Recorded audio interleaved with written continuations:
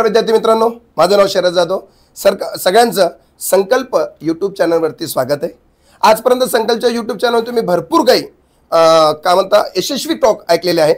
यापैकी आज आपण जो टॉपर टॉक आहे जो यशस्वी जो टॉक आहे त्यामध्ये अमर सातो हा एक विद्यार्थी ॲग्रिकल्चर बॅकग्राऊंडचा याने U double I C L A O he post काढलेली आहे.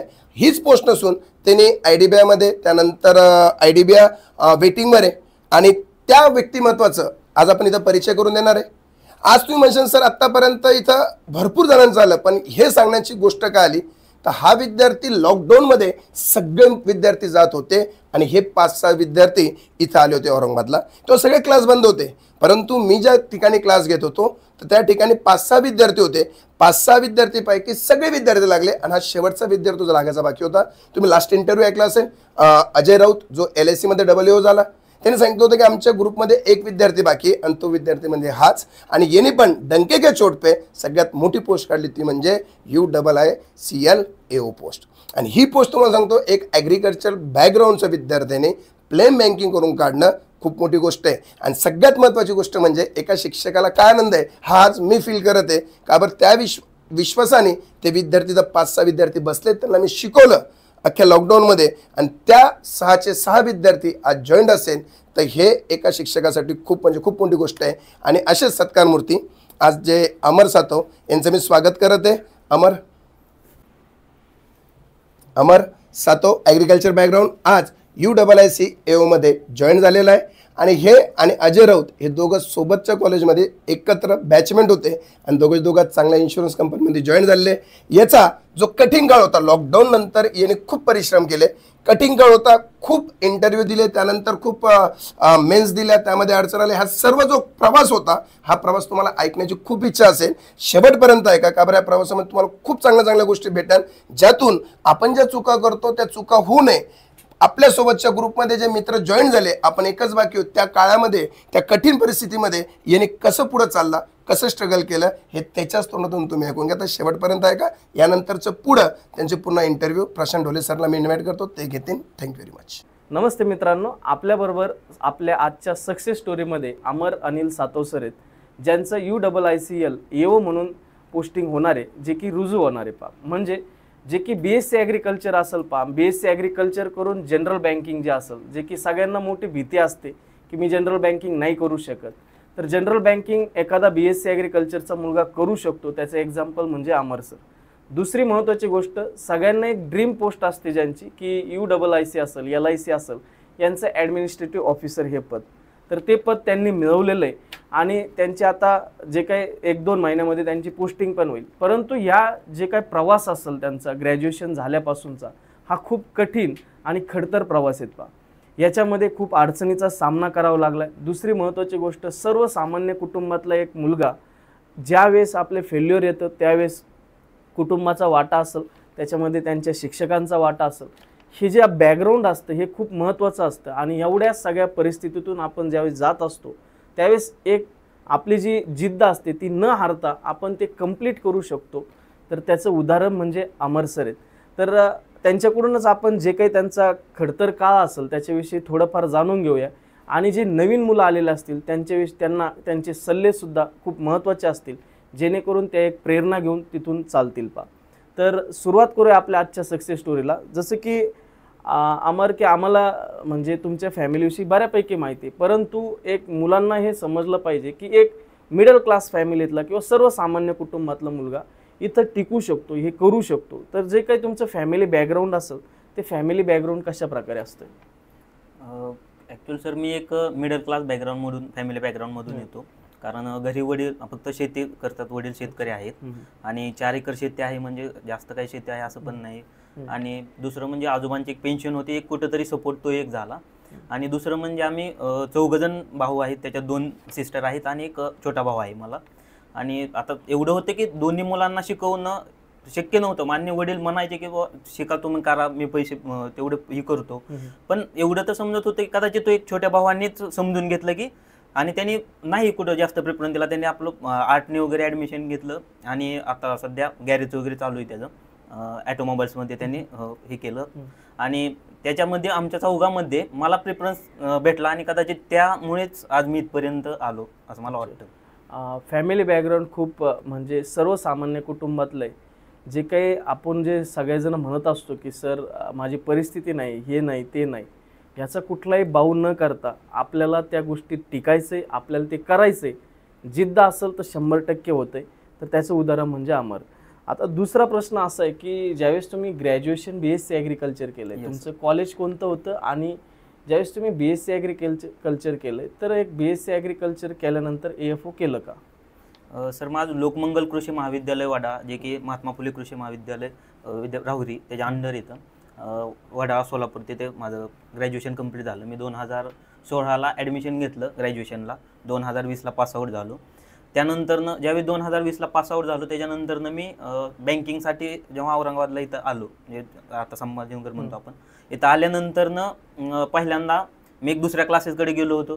त्याच्यानंतरनं थोडंसं शरद सरांच्या ओळखीवरती इकडं आलो शरद सरांकडे. आणि त्यावेळेस कदाचित एक सरांनीच आमच्या म्हणजे मी ॲग्री एपो का नाही केलं तर मला वाटतं की त्याच्यासाठी मी सरांना धन्यवाद देईल की त्यांनी मला ज्यावेळेस मी त्यांना भेटलो त्यावेळेस त्यांनी आम्हाला एक सांगून ठेवलं की एपो करायचं नाही. तुम्ही ॲग्रिकल्चर बॅकग्राऊंड आहात पण एपो फक्त नाही. तुम्ही जनरल बँकिंग चालू करा. कारण तुम्ही जनरल बँकिंग चालू केलं तर सगळ्यात एपोमधलं जर आपण बघितलं तर नव्वद टक्के फेल्युअर हा प्रीसाठी राहतं. मेन्सचं तर आहेत पण फ्रीसाठी नव्व नव्वद टक्के तर फेल्युअर फ्रीसाठी राहतं. मग ज्यावेळेस तुम्ही जनरल बँकिंग कराल त्यावेळेस तुम्हाला फ्रीची एक भीती राहते ती भीती पूर्णपणे मिटून जाते तुमची भीती. आणि एक ॲग्रिकल्चर झालेलं असते लगेच त्यामुळे ॲग्रीचा पण अभ्यास राहतो. त्यामुळे आम्हाला जनरल बँकिंगला कदाचित त्यांनी जे सांगितलं त्यामुळं आल्यापासूनच स्टार्टिंगपासूनच आम्ही जनरल बँकिंगला प्रेफरन्स दिला चांगलं म्हणजे जे की आपलं कॉन्ट आणि रिझनिंग आणि इंग्लिश असेल जे की तुम्ही समजत असतात की काही नाही आपलं थोडंफार मेरिट लागतंय. त्या गोष्टी चालणार नाही आहेत तर तुम्हाला पहिल्यापासून प्री पण तेवढ्या जोमात करावं लागेल. त्याच्याबरोबर तुमची मेन्स पण करावं लागेल. म्हणजे या सगळ्यांना जर बरोबर घेऊन जर चाललो आपण तर शंभर टक्के आपल्याला ए एफ ओ व्यतिरिक्त सुद्धा आपल्याला यश भेटू शकतं. दुसरा प्रश्न असा आहे की सर ज्यावेळेस तुम्ही B S C agriculture complete केलं आहे जसं की अगोदरच शरद सरांनी सांगितलं तुमच्याविषयी की दोन हजार वीसला ज्यावेळेस कोरोनाचा पिरियड होता त्या पिरियडमध्ये तुम्ही फक्त इथं थांबले होते. त्याच्यानंतर बाकीचे बऱ्यापैकी घरी गेले होते. तर तो जो पिरियड असेल तो नेमकी कशा प्रकारे तुम्ही टॅकल केला? कारण त्या पिरियडमध्ये खूप कठीण परिस्थिती होती. तर अशा पिरियडमध्ये तुम्ही नेमकी कशा प्रकारे स्टडी केला? ज्यावेळेस आम्ही वी दोन हजार वीसमध्ये इथं आल्यानंतरनं सेकंड वेव आली होती कोविडची त्यावेळेस स्टार्टिंगला तर सरांना अवेलेबल वगैरे होत होते रूम्स वगैरे क्लासेस वगैरे. त्यानुसार क्लासेस झाले. नंतरनं त्यांनी यूट्यूबला पण चालू केलं. पण एक पॉईंट होता की आमच्यासाठी एक मोठ्या भावासारखं त्यांनी केलं की जर समजा जेवणाचा वगैरे प्रॉब्लेम असेल तर पूर्ण त्यांच्या घरून डब्बा यायचा आम्हाला. त्याच्यामुळे एक प्रॉब्लेम तसा काही एवढा वाटला नाही आम्हाला त्या बाबतीत. तेवढं सपोर्टिव्ह त्यांनी केलं त्या बाबतीत सरांनी. त्याच्यामुळे इथं आम्ही थांबलो आणि अभ्यास चांगल्या प्रकारे आमचा अभ्यास त्या कोविडच्या टाईममध्ये झाला. बी एस सी ॲग्रिकल्चर केल्यानंतर जे तुम्ही आत्ताच बोलले की जनरल बँकिंग जी की एक मुलांच्या मनात एक भीती असते की जनरल बँकिंग करायची का नाही करायची? तर तुम्ही जे काय नवीन मुलं असतील ते तर ॲग्रिकल्चर करणारच आहेत परंतु आता त्यांच्याकडे फक्त तीन चार महिनेच राहिलेले आहेत. तर तीन चार महिन्यात त्यांचं ॲग्रिकल्चर करायला पाहिजे त्यांनी. परंतु जनरल बँकिंगचे जे सब्जेक्ट आहेत त्यातले त्यात कॉन्ट रिझनिंग इंग्लिश याच्यामध्ये प्रॉब्लेम असा आहे की हे जे विषय असतील याच्यातलं सिम्प्लिफिकेशन क्वाड्रेटिक इक्वेशन नंबर्स मला आठवतं की मी ज्यावेळेस स्टडी करायचं एवढे चार पाच चॅप्टर तुम्ही केले तर तुम्ही ए एफ ओची प्री निघत होती तुमची. परंतु जे काही कमर्शियल मॅथ असेल ते कमर्शियल मॅथ तुम्ही करत होतात का? येस सर मी कमर्शियल मॅथ केलं खरंच. कारण जर जनरल बँकिंगमध्ये आपण बघितलं तर तुम्हाला सिम्पली क्वाड्रेटिक इक्वेशन वगैरे ह्या स्पीड मॅथवर जो आहे त्याच्यावरती पेपर निघणं शक्य नाही आहे तुम्हाला कमर्शियल मॅथ करावंच लागेल. आणि नक्की ते आणि आत्ता जरी आपण पाहायला गेलो तरी आत्ता सध्या एक दोन वर्षापूर्वी थोडंसं प्रीचं मेरिट कमी झालं. नाही तर अगोदर अं, आपल्या एपोचं पण मेरिट चाळीस पंचेचाळीस मार्कचं मेरिट राहत होतं. ज्यावेळेस मी दोन हजार वीसला आलो होतो त्यावेळेस पण चाळीस मार्कचं एपोचं प्रीचं मेरिट लागलं होतं. मग मला वाटतं की आपण जर पाहायला गेलो तसं तर ज्यावेळेस जनरल बँकिंग करतो आपण त्याच्यामध्ये क्वांट रिझनिंग आणि इंग्लिश तर तुम्हाला करायचंच आहे. जे की तुम्हाला एपोला पण प्रीसाठी करायचं आहे मग तुमचा फक्त सब्जेक्ट एकच राहतो एक्स्ट्राचा तो म्हणजे जे एचा तो पण मेन्सला असतो प्रीसाठी तर तुम्हाला गरज नाही. आणि एक तुम्ही स्वतः बघा जे एपोचे असतील त्यांनी एखादी एखादा फॉर्म भरा एस बी आयचा किंवा आर आर बीचा वगैरे. आता आर आर बीचे फॉर्म आहेत.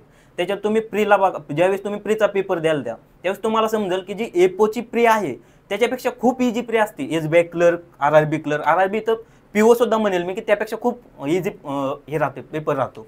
फक्त भीती कशाची राहते की मॅथ वगैरे त्याचा जो एक फोबिया ठरलेला राहतो की आपण ॲग्रिकल्चर आहोत आणि एक तर असते की दहावी नंतर आपल्याला मॅथचा विषय नसतो त्याच्यामध्ये. तो एक फोबियामुळे कुठेतरी प्रॉब्लेम येतो. आणि कदाचित मला वाटतं की तो बाजूला सारून खरंच ट्राय करायला पाहिजे. पहिल्यांदा आल्यानंतर जनरल बँकिंगच स्टार्ट केलं पाहिजे. जनरल बँकिंग स्टार्ट केल्यानंतर तुम्हाला एकतर भीती निघून जाते तुमची एपोची प्रीची आणि मला वाटतं की ॲग्रिकल्चर केल्यानंतर तुम्ही डायरेक्ट आलेला असतात. ॲग्रीचा एक तुम्हाला एक अभ्यास तरी असतो थोड्यापैकी एक नॉलेज राहतं. आणि तुम्ही डेली बेसिसवरती दोन तीन हाऊस जरी ॲग्रीसाठी दिले टाइम दिला तर नक्कीच तो कव्हर होऊन जातो आणि पूर्ण इयर राहतं तुम्हाला. बाकीचं तुम्हाला जे जनरल बँकिंगला करायचं ते तुम्हाला एपोजला पण करायचं त्याच्यामुळे जनरल बँकिंग सोबत सोबत तुमच्या एपोचे प्रीची तुमचा जो फोबिया राहतो की जे- जे नव्वद टक्के आपण तिथं फेल्युअर बघतोय ते कुठेतरी मला वाटतं सक्सेस ठरून जाईल. म्हणजे आपल्याला general banking plus A F O अशा प्रकारे आपल्याला जाणं आहे ज्यांनी की ते आत्ताही सांगितलं आहे आणि प्रत्येक वेळेस आपल्या लेक्चरमध्ये ह्या गोष्टी होत असतात की तुम्ही ज्यावेळेस ॲग्रिकल्चर प्लस जनरल बँकिंग असं तुम्ही बरोबर ठेवतात त्यावेळेस कमीत कमी दोन ते तीन तास हे फक्त ॲग्रिकल्चर करायचं बाकीचा वेळ सगळं तुम्ही क्वांट रिझनिंग इंग्लिशला द्यायचं आहे. कारण तुम्ही ॲग्रीचं किती जरी अभ्यास केला तर शक्यतो जर प्री जर नाही निघली तर तुमचं तिथं फेल्युअर येऊ शकतं.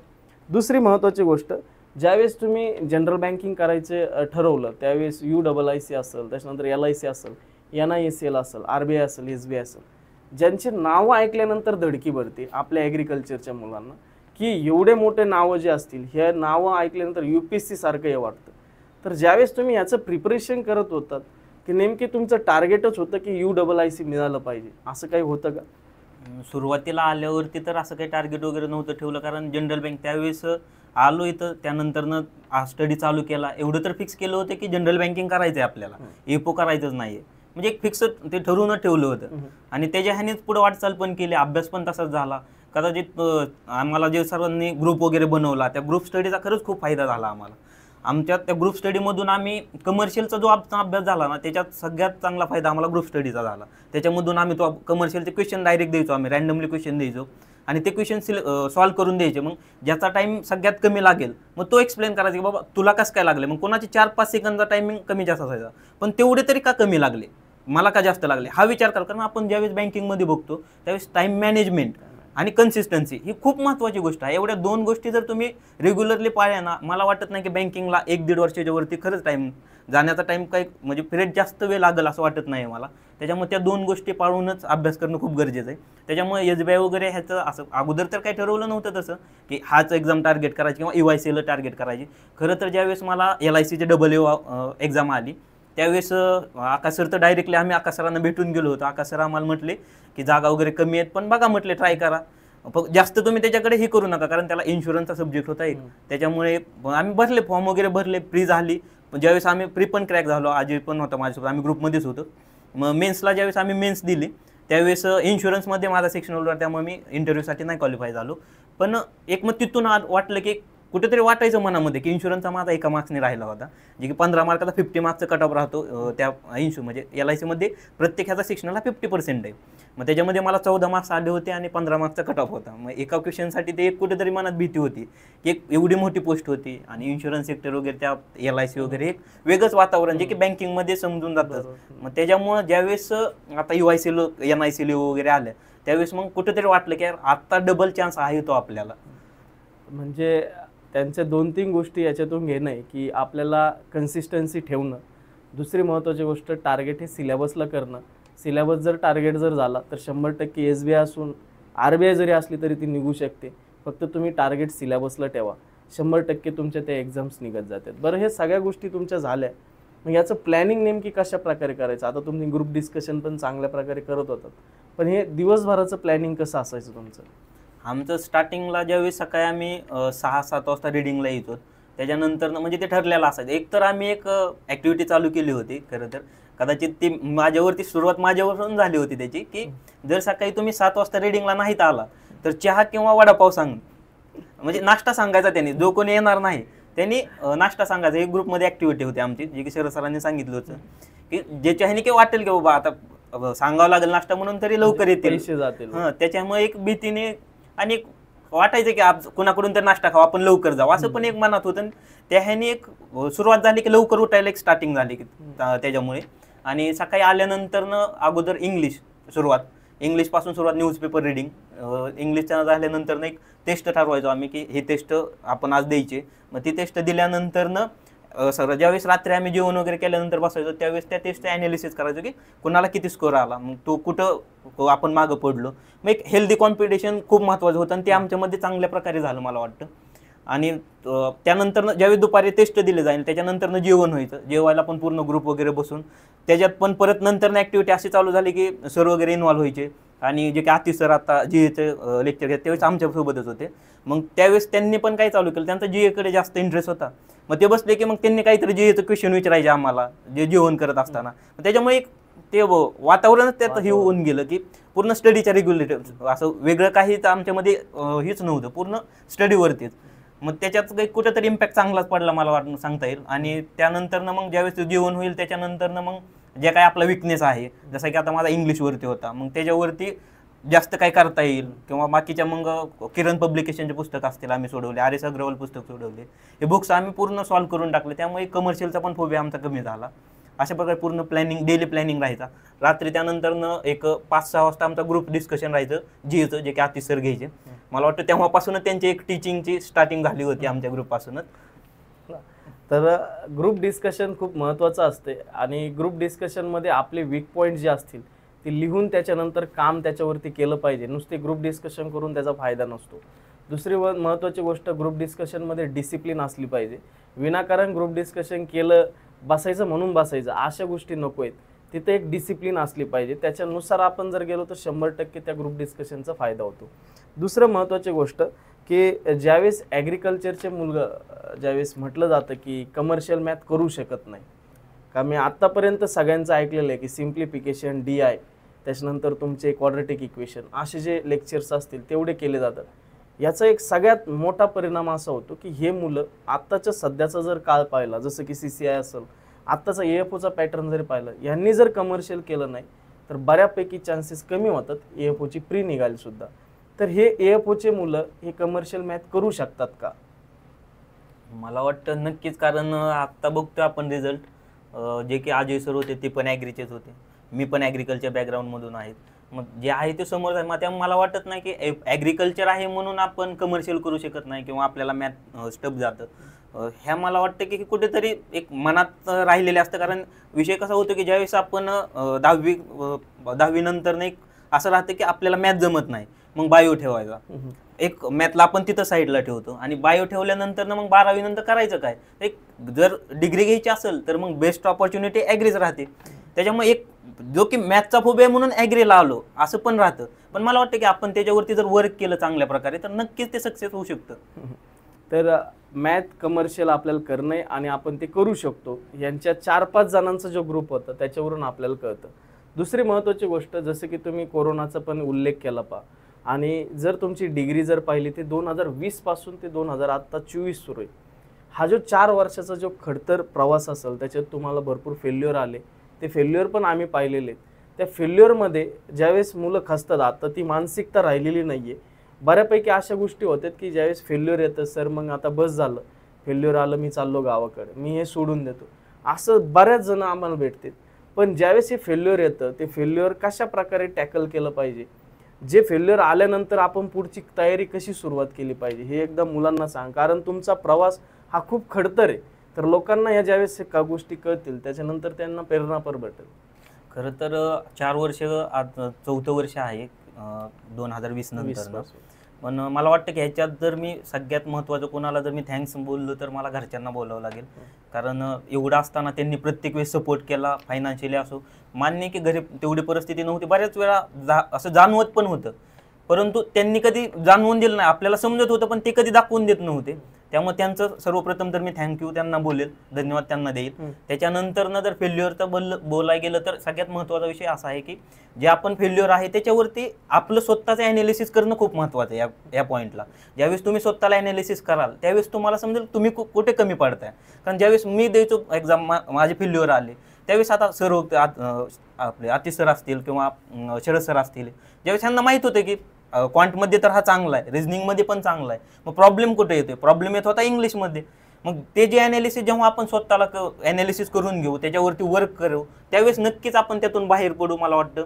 आणि जेव्हा पण फेल्युअर येईल त्यावेळेस तुम्ही नक्कीच संकल्प टीम असेल कुणाला येऊन भेटा तुम्ही त्यावेळेस? मार्गदर्शन खूप महत्त्वाची गोष्ट आहे. आणि मी ह्या बाबतीत तर मी खरंच सगळ्यात म्हटलं तर आकाश सरांना ह्या बाबतीत मानेल की तुम्ही कोणत्याही क्लासचे असा काही असो तुम्ही त्यांना येऊन भेटणे बस. ते तुम्हाला बोलणार पण नाही तुम्ही कुठे क्लास केले काही काहीच विचारत नाहीत ते. तुम्हाला एकदम जसं की स्वतःचा स्टुडंट आहे अशा एक मो बारक्या भावाप्रमाणे ते मार्गदर्शन करतील. आणि खरंच मला त्या मार्गदर्शनाचा मी ज्यावेळेस दोन तीन वेळा एल आय सीच्या वेळेस पण मी त्यांचं मार्गदर्शन घेतलं होतं.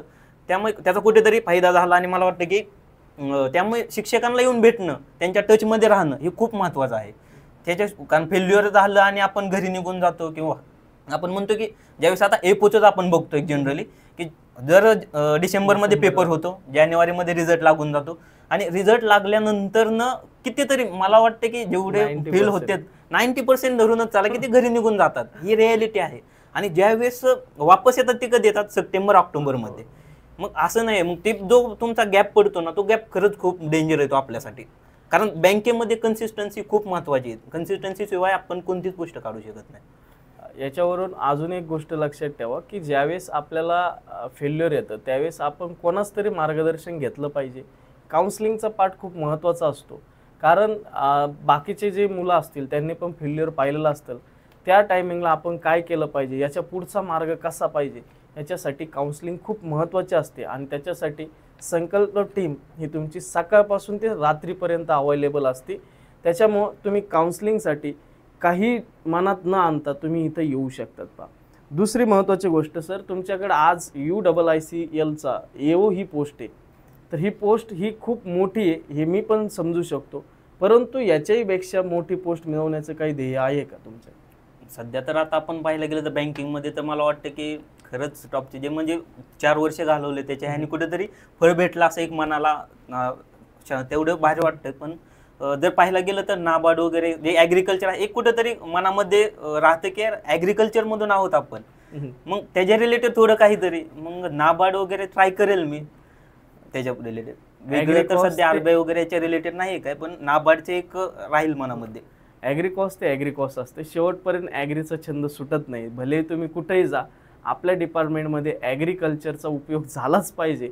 जरी U double I C L AO जरी ते झाले असतील तर त्याच्यानंतरही त्यांची इच्छा आहे की मी ॲग्रिकल्चरला सोडलं आहे आत्ता. पण सोडलं म्हणजे पूर्णपणे नाही.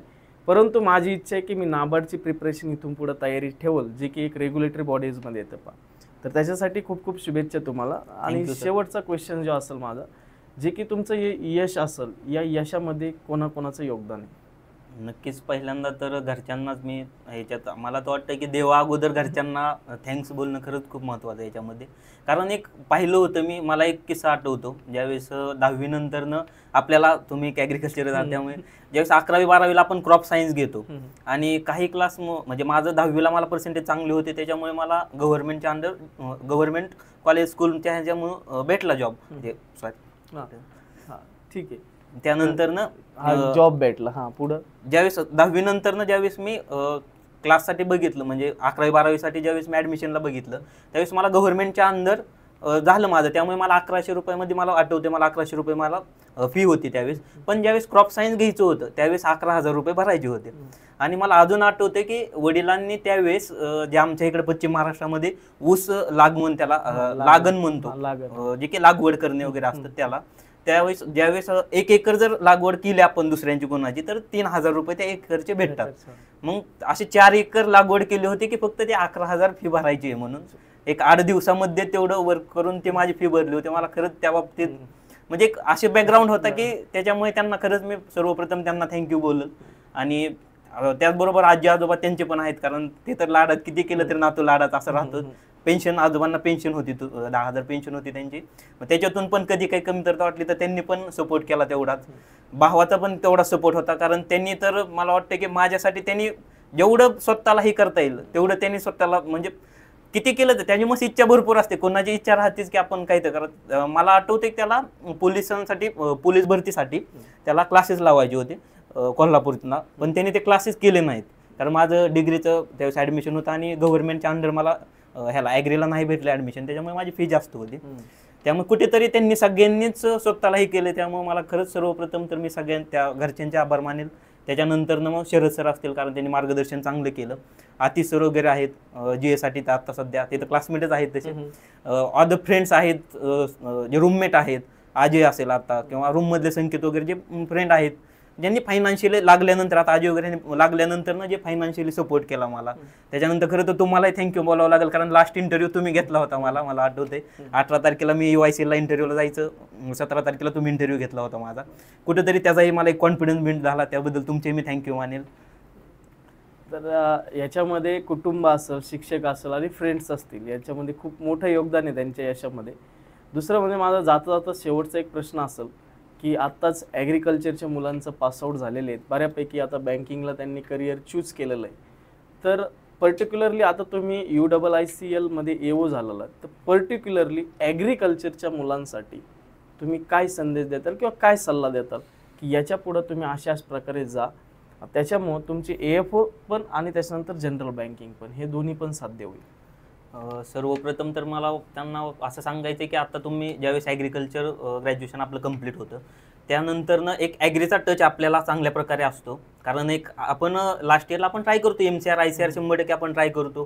तेवढा आपला अभ्यास झालेला असतोय. त्याच्यामुळे मला वाटतं की डेली बेसिस तुम्ही सगळ्यात पहिल्यांदा तर एक प्रॉपर क्लास लावा. सगळ्यात महत्त्व सगळ्यात महत्त्वाचं आहे तुम्ही एक आकाश सरांचं जे मगाशी पण म्हणलं तुम्ही एक मला सेंटेन्स आठवतं की तुम्ही एक्झाम टार्गेट करू नका सिलेबस टार्गेट करा. खूप महत्त्वाचं आहे ते. मग ज्यावेळेस तुमची चार महिन्याची बॅच कंप्लीट होईल त्याच्यानंतर मग तुम्हाला एक आयडिया लागून जाईल पूर्णपणे. आणि मी तर म्हणेल पहिल्यांदाच की जनरल बँकिंग स्टार्टिंग जनरल बँकिंगपासून करा. फक्त एपो करायचे हे तुम्ही ध्येय एम ठेवूच नका. ज्यावेळेस तुम्ही इथं चालू कराल त्यावेळेस तुम्ही ॲग्रीचा टच असतो एकतर आपल्याला. त्याच्यामुळे डेली तुम्ही आता ग्रुप डिस्कशन वगैरे आपण तुम्ही चालू इथं. नऊ वाजता तुम्ही आता टेस्ट वगैरे झाली. त्याच्यामुळे त्या रिलेटेड जे आहे आपले ॲक्टिव्हिटीज राहतात त्या ॲक्टिव्हिटीमध्ये इन्व्हॉल्व्ह व्हा. आणि दोन तीन हाऊस मी म्हणतो डेली दोन तीन हाऊस जरी तुम्ही ॲग्रीसाठी दिले तर खूप सफिशियंट आहेत मला वाटतं.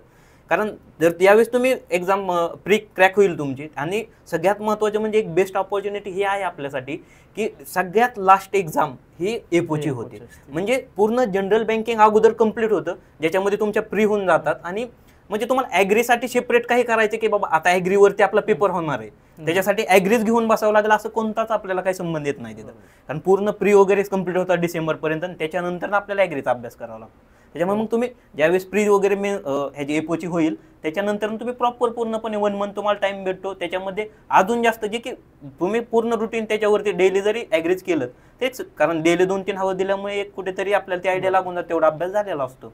त्याच्यामुळे तुम्ही नक्कीच जनरल बँकिंग ट्राय करा. असं नाही म्हणत मी की एपो सोडून द्या. ते आपल्या हक्काची पोस्ट आहे नक्कीच पाहिजे आपल्याला ते. परंतु फक्त एपोच करायचे म्हणून येऊ नका. कारण जर एपोच करायचं म्हणून आलात तुम्ही आणि जर मॅथ वगैरे याच्यामध्ये मग असं कधी प्रिपेअर झाले की लगेच निघून जाणं सप्टेंबर ऑक्टोबरमध्ये येणं उन्हाळे पावसाळे केल्यासारखं जर केलं तर मग त्याला काहीच अर्थ राहत नाही. मग याच्यातच मग कुठेतरी टाइम निघून जातो.